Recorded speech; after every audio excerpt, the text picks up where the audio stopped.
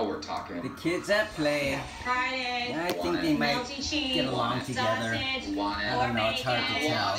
Try two for $5 breakfast biscuits and add four donut holes for just Good a girl, buck. baby. Oh,